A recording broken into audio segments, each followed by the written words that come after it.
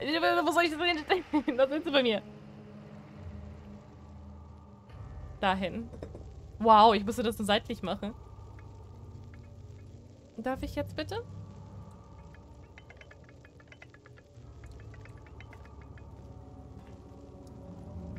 Jetzt presst diesen Saft aus. Komm schon. Wieso ist das so schwer? Wieso muss ich mich mitbewegen dafür? Ja schon. Press. So muss ich mich dafür mitbewegen. Ach, muss ich gar nicht. Oh, wow. Ich habe nur eben blöd gehalten gehabt. Wir haben den Trank. Wir haben den Trank. Puh. Agrippa. Ag äh, ich habe Angst. Was ist das, Agrippa? Äh, ich kann dir schnell helfen. Ja. Ja. Okay. As the tonic begins to work, you'll be able to cut off my head without taking my life. Then, take my head and bring it with you.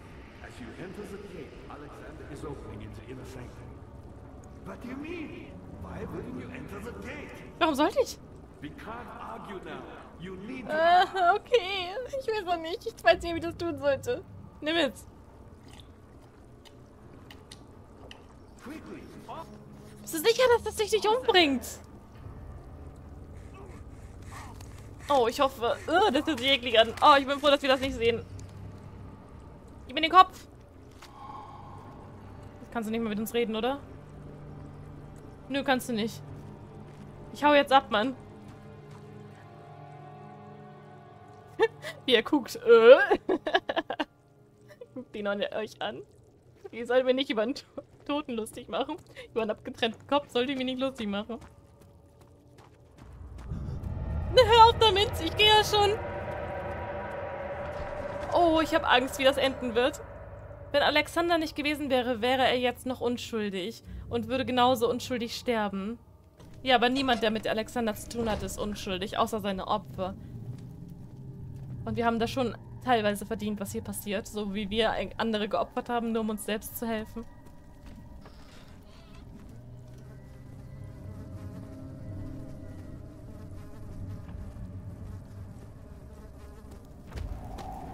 Nur auf den aufpassen.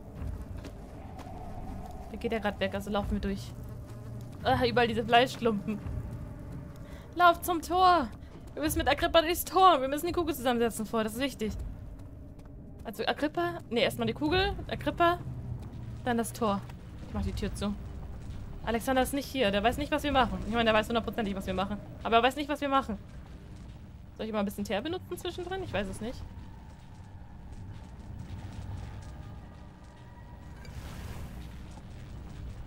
Okay, das sah seltsam aus. Ich akzeptiere einfach mal das, was wir hier gerade tun. War wohl richtig, das zu benutzen. Und wir haben die Kugel. Wir haben sie. Sollen wir wirklich da durchgehen?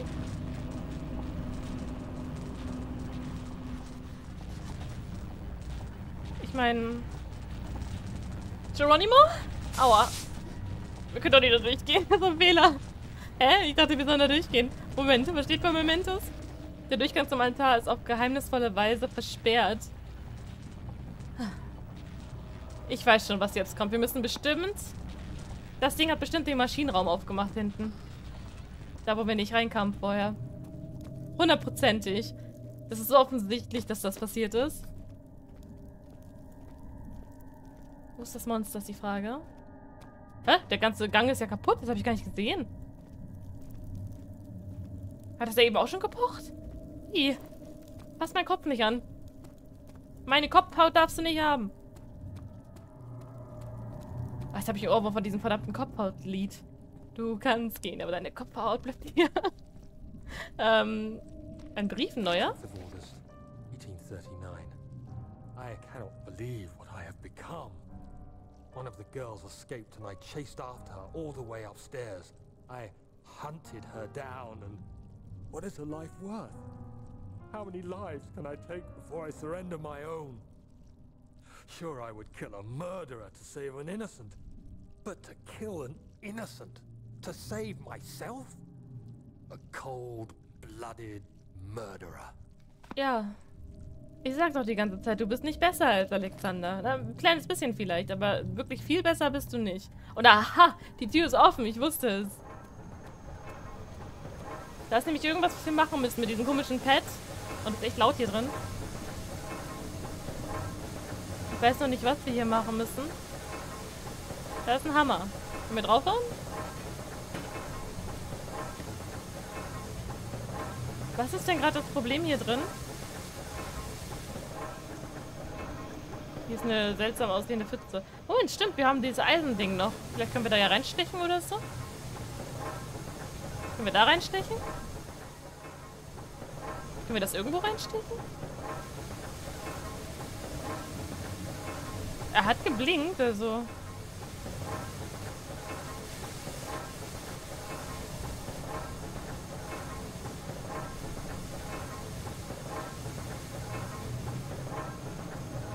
Was genau sollen wir hier tun?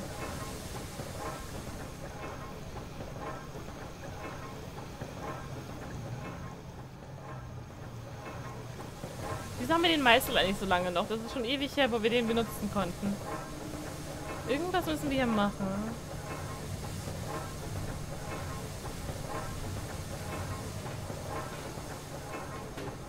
Das ist nicht groß genug. Also wir sollen die wirklich blockieren. Äh, brauche irgendwas Großes, was das blockieren könnte. Das ist wahrscheinlich hier, das ist so ein Sicherheitsmechanismus. Ich meine, das da vorne wäre groß genug, aber das können wir nicht aufheben, ne? Nein. Ist oben was in dem Raum?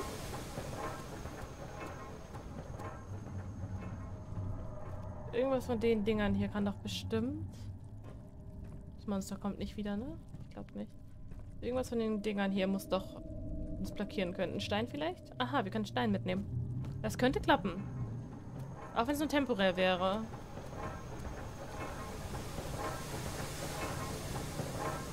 Au, das tat weh. Es hat funktioniert.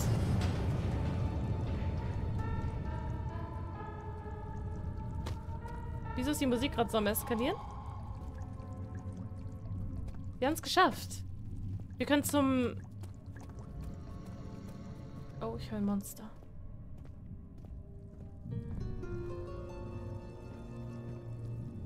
Oh, der kommt her. Okay, wir können noch nicht direkt hinlaufen. Wir müssen uns erstmal verstecken.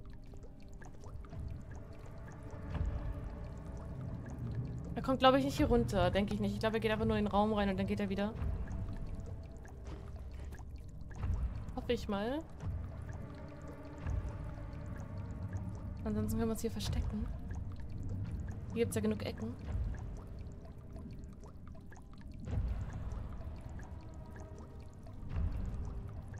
Ist er weg?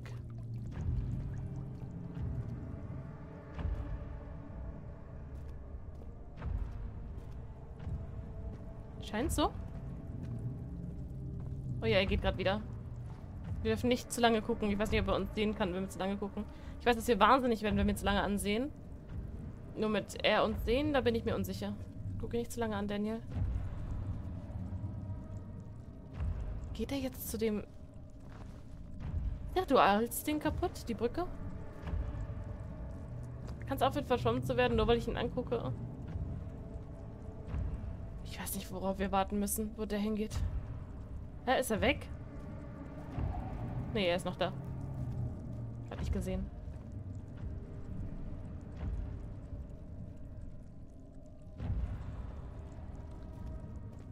Ich weiß nicht, wie sein Gang ist, aber ich glaube, dass wenn er wiederkommt, geht er wahrscheinlich hier wieder hin.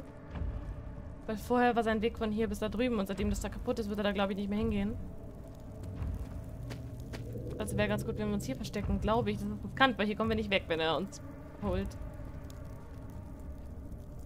Und wir haben nichts mehr zum Heilen. Wenn ich hier also falsch liege. Aber ich könnte auch ganz nach vorne gehen und hoffen, wenn der kommt, dass dann er nicht ganz nach vorne geht. Weil ganz nach vorne geht er, glaube ich, gar, auf gar keinen Fall. Ich weiß jetzt auch nicht, ob er da drin bleibt oder verschwindet, wenn er... Frechheit. Oder verschwindet, wenn er weit genug weg ist. Aber bisher sind die immer verschwunden. Also kann es durchaus sein, dass der einfach verschwindet. gerade riskant, was ich mache, ich weiß. Aber er ist nicht mehr hier. Der ist also wirklich einfach verschwunden. Die Kugel ist aber auch nicht mehr hier. Ah, was? Ich weiß nicht, was das für ein Geräusch ist. Was soll das? Inneres Heiligtum. Sie schrie und trat um sich, als er sie am Arm zog. Ihr geblümtes Sonntagskleid wurde zerrissen und sie fiel in den Matsch. Ich glaube, das wird das Ende werden. Kann das sein? Kommt jetzt ein Bosskampf mit Alexander?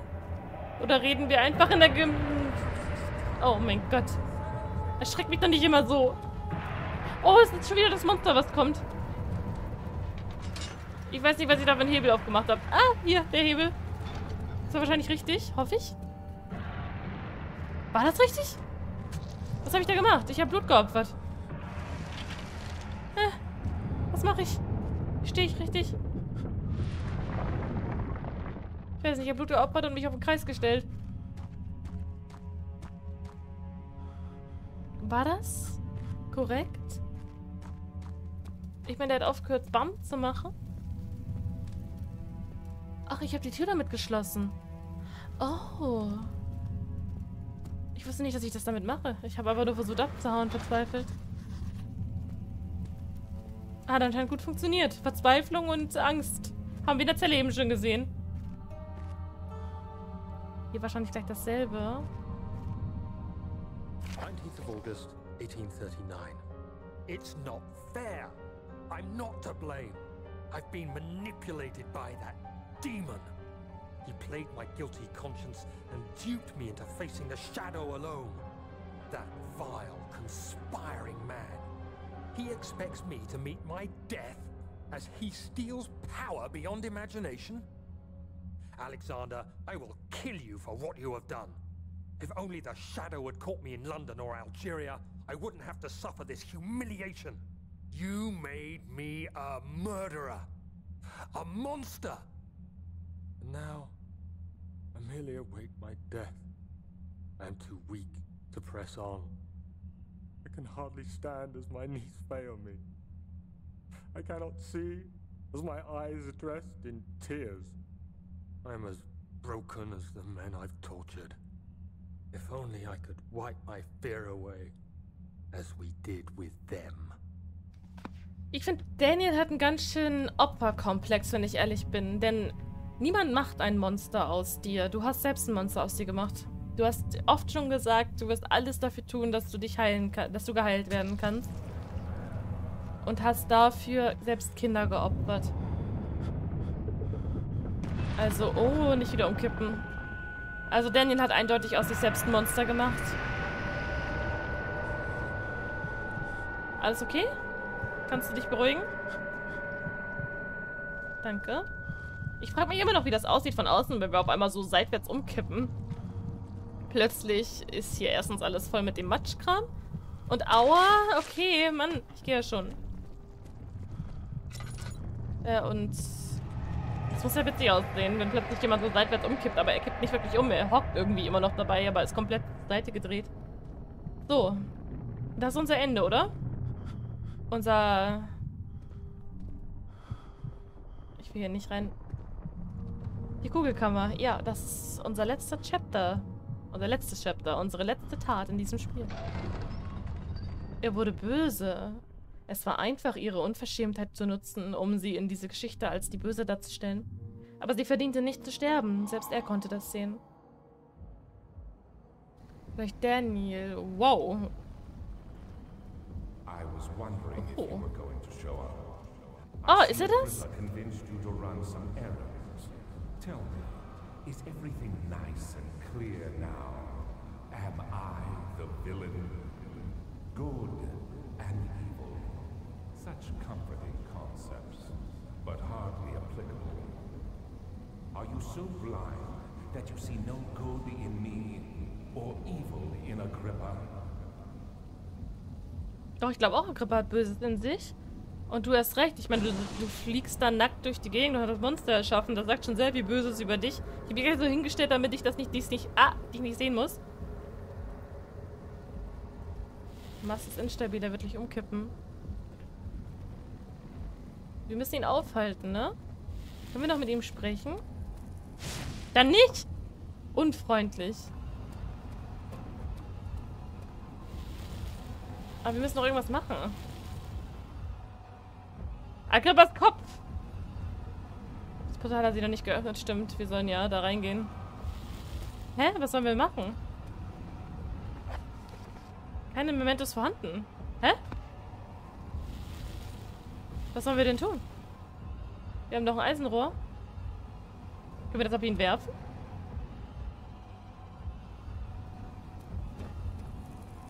Kannst dich auf ihn werfen.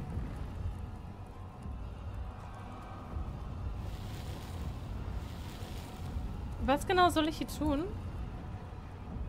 Muss ich einfach warten, dass das Portal sich öffnet?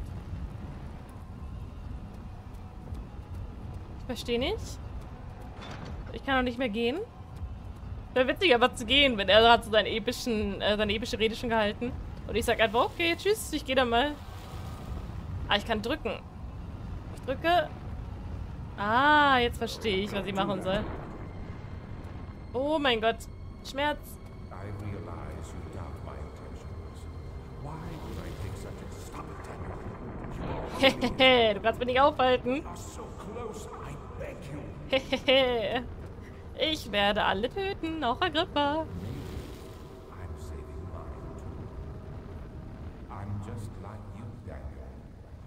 Hör auf zu labern. Ich weiß, was das soll. Das ist eine Taktik, um mich zu manipulieren. Das ist gut so, genau das muss sein. Wir beide werden jetzt sterben. Oh, das Monster holt ihn. Das war aber... Also ich hätte mir jetzt gewünscht, dass wir ihn umbringen können und nicht, dass er einfach explodiert. Und äh, ich meine, er ist ja nicht mehr explodiert, er ist einfach weg. Gut so, Daniel. Alexander hat das verdient zu sterben. Auch wenn Agrippa jetzt ebenfalls tot ist. You think I was afraid fleeing Brennenburg? Huh. Quite the contrary.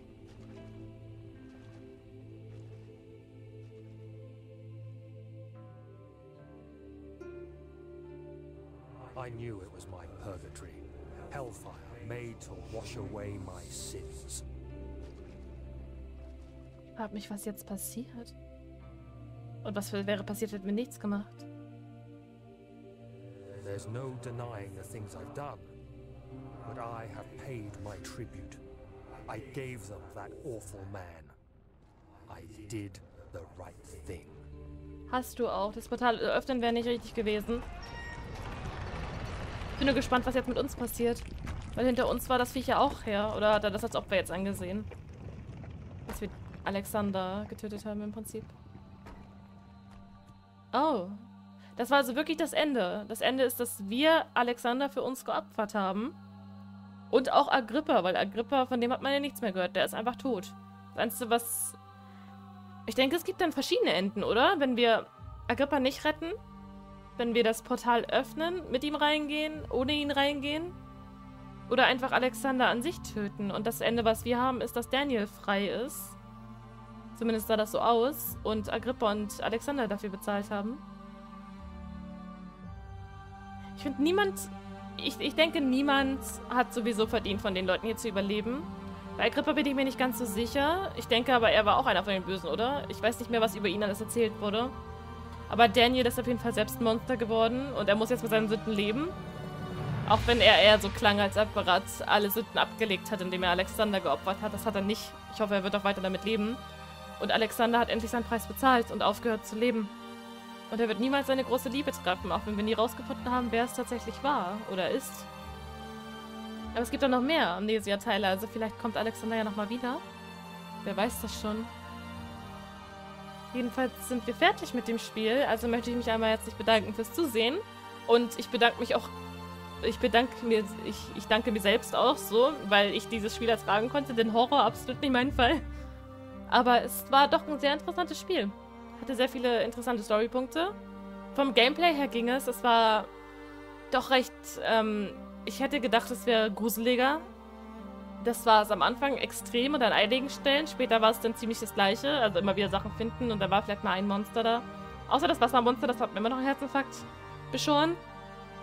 Aber ansonsten war es ein gutes Spiel. Ich kann es empfehlen. Also nochmal, danke fürs Zusehen.